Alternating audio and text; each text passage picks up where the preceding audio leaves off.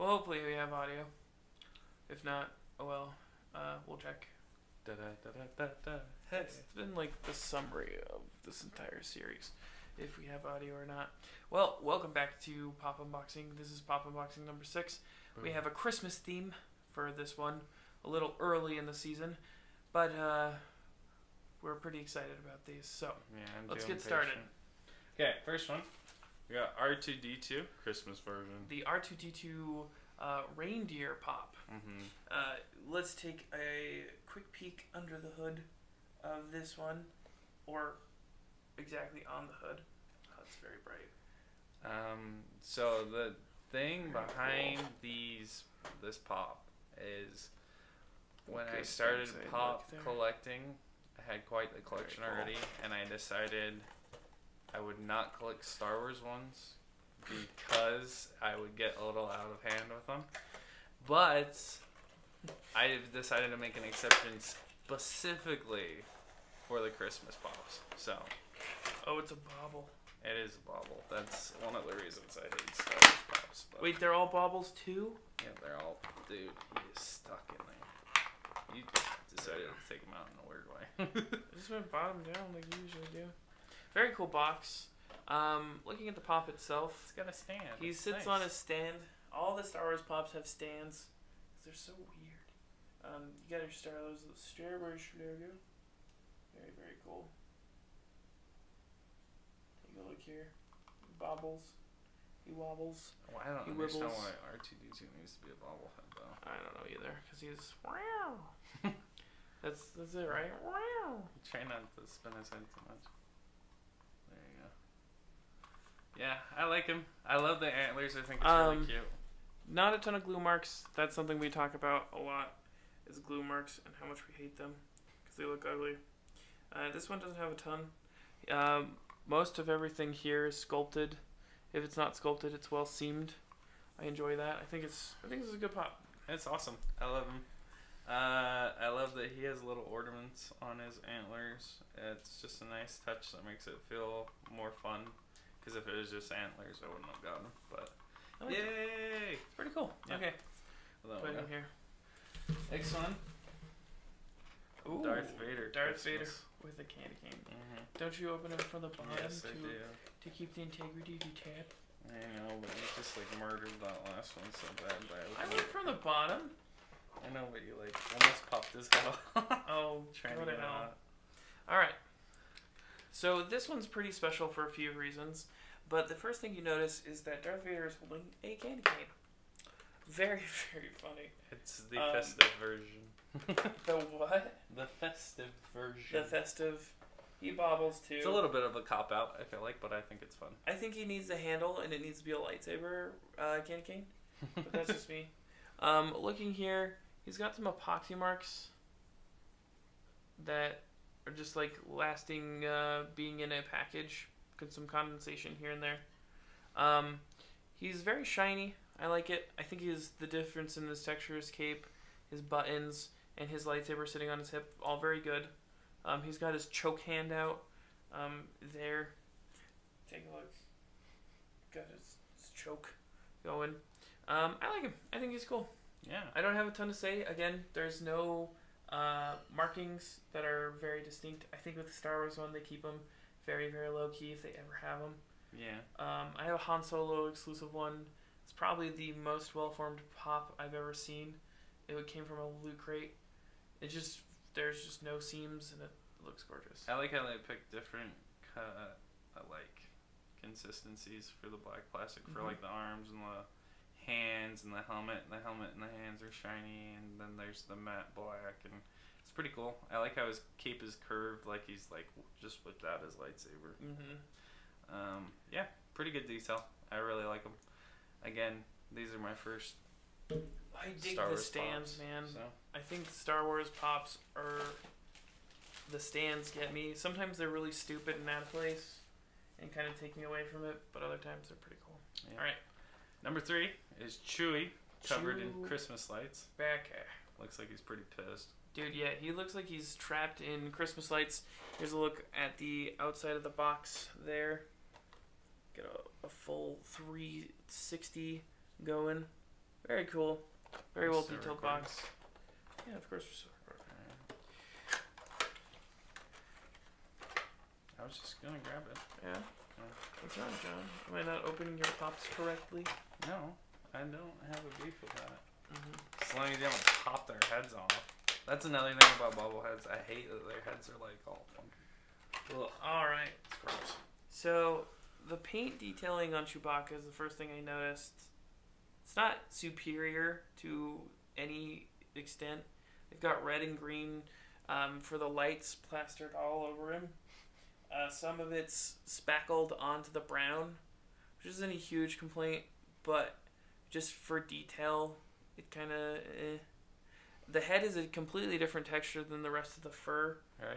on the like- body. It's kind of stark in the difference there, which is not a great thing. I think if they could have kept the consistency of the head compared to the rest of it, it would have been very cool.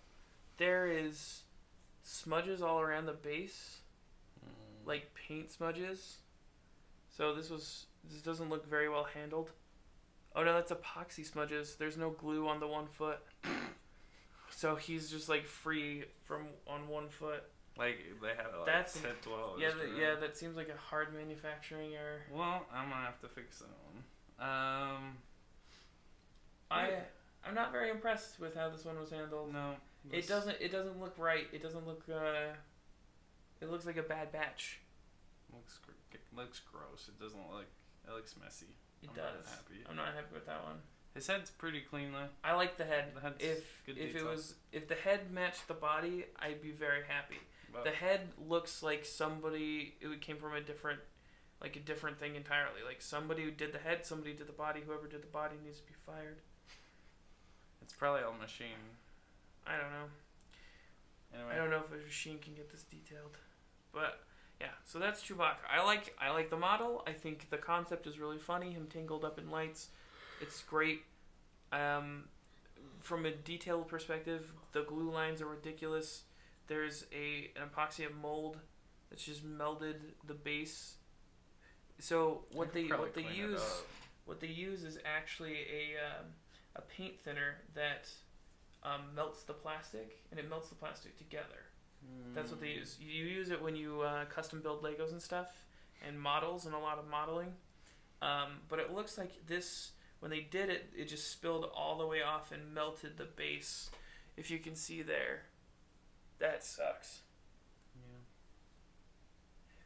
But yeah, Jon, don't get itchy. It's okay. We all have those rarities. No, it's cool.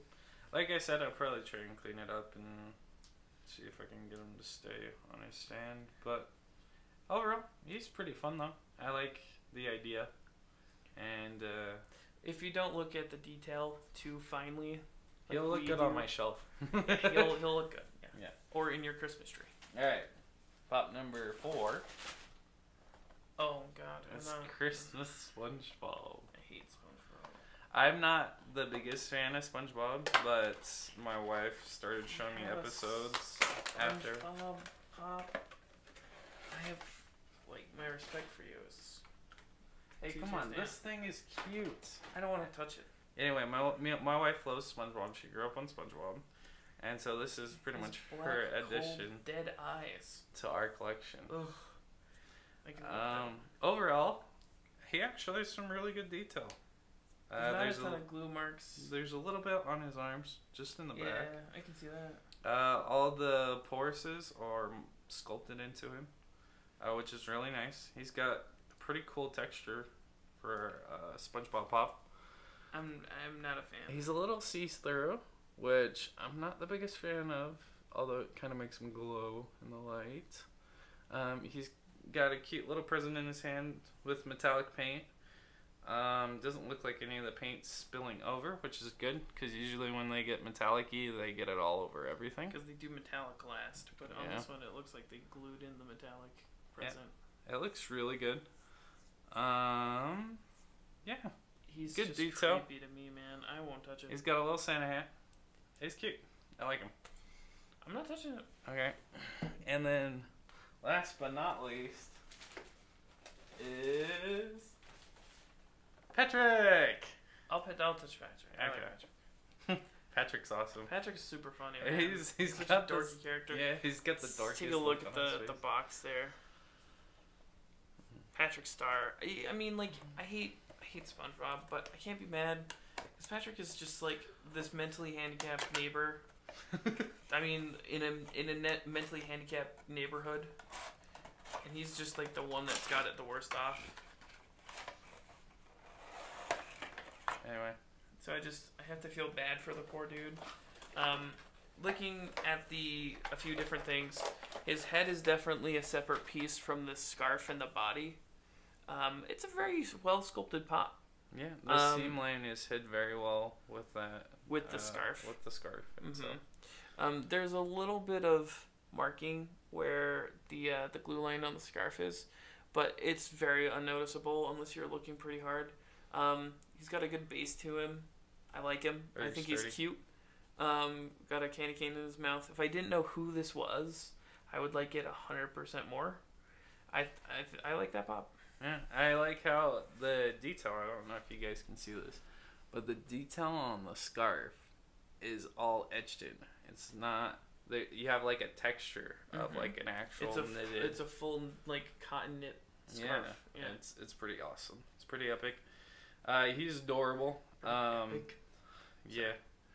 No, the original SpongeBob pops I refused to get because they were absolutely terrifying. You should look them up sometime. I don't want to. I just absolutely despise SpongeBob. nightmares. Anyway, All right. so that's this. That's that for this video. Which one's your favorite? All right. Uh, I will easily give my pick to R2D2. Just because Uh, he's adorable. He's freaking gorgeous, and his head swivels. I know I don't like pops that are bobbles because they suck, but his head kind of swivels. You can make it swivel a little bit like R2D2. So, yeah, I, I love it. I, I like R2. What's what's your favorite? He's he's by far the coolest. I've always been a fan of the two droids, C3PO and R2D2, and R2 is the bomb Gotta give it to R2. with the little bubble. Yeah, Alright. just gotta give it to him. Although Patrick is adorable. Patrick is adorable. I Okay. would say my second place for all of this would be Patrick, and I absolutely hate SpongeBob and everything. Well, which one's worse? Do, do, do you not like Chewie or do Oh, you not like Chewie is a just- SpongeBob better? Chewie, like the I would pick Chewie absolutely if the the fucking model wasn't so bunged up. And now we're PG thirteen. Go ahead.